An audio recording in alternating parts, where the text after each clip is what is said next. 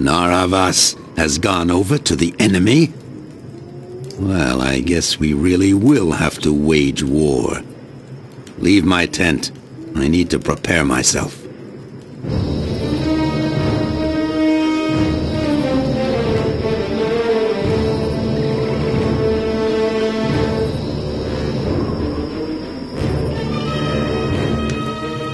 Gather the troops, sound the trumpets, and move forward! We will surprise Narhavas before he launches his attack. Spendius and Matho are quicker than Narhavas. They come upon the Numidian army, leading the Gauls, Balears, Etruscans, and their pariah allies, and chase them into the back country. It was time. Already Hamilcar is leaving Carthage. Spendius and Matho turn around to face him and attempt to catch him between them. Hamilcar immediately reacts.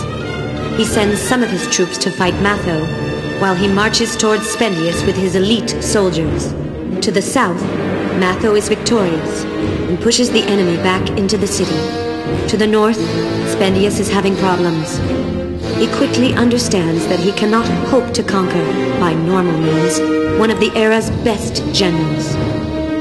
To save his army from being totally destroyed, the adventurer must retreat towards the Solitude Mountains.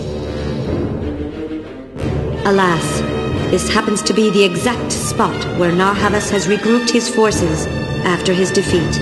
Like wolves heading off game, Hamilcar and Narhavas push the mercenaries into the Hatchet Mountain Pass.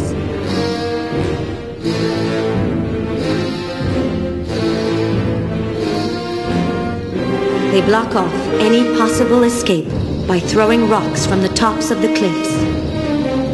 Spendius and his men are caught in the trap. The enemy is content to keep the high position, waiting for thirst and hunger to do the job.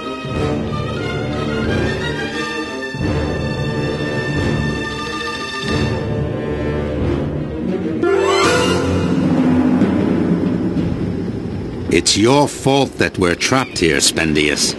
Our time is limited, and all I hope is that you'll die before me.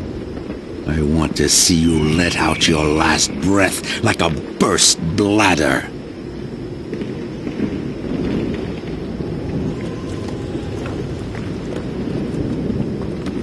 Leave this sewer?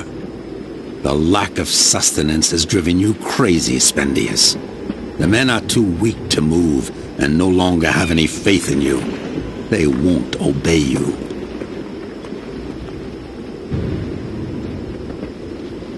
Are you dreaming? The enemy is solidly camped out on the heights, and no matter what he does, Matho won't be able to dislodge them. Don't count on his help. There's nothing in this pass. Not one single thing that a human being could eat.